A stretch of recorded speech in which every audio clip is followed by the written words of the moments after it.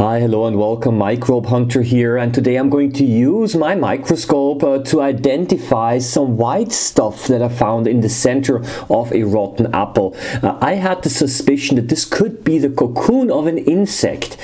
I wasn't sure about that uh, so I put it under the microscope and well, it was a fungus.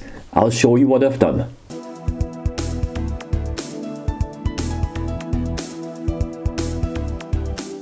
So recently when I cut open an apple, I saw that the apple was very much uh, rotten and uh, yeah, looked pretty um, unattractive. Um, and uh, in the center there was uh, some white fuzzy stuff and uh, my first suspicion was that this was actually um, the cocoon of an insect.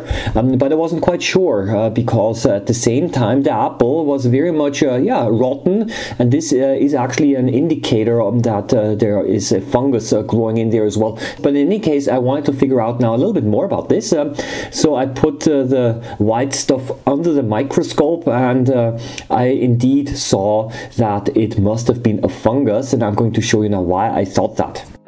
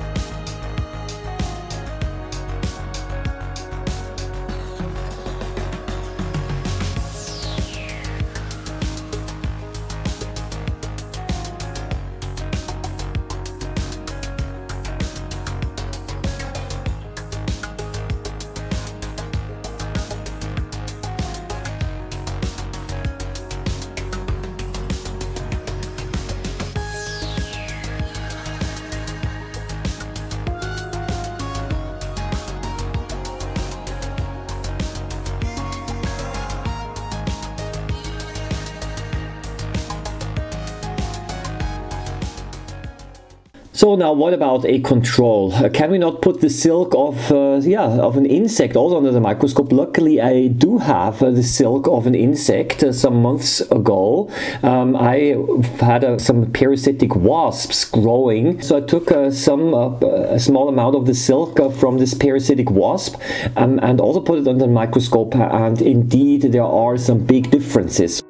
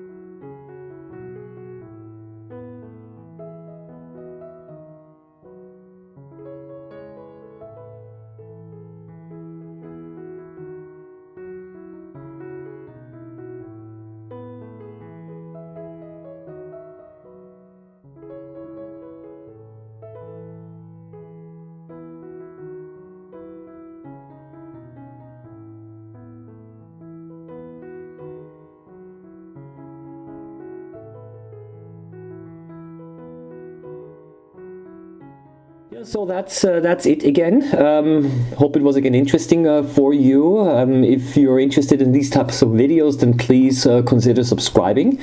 Um, I also have uh, a few other links and resources that might interest you. So maybe you want to also check the description below.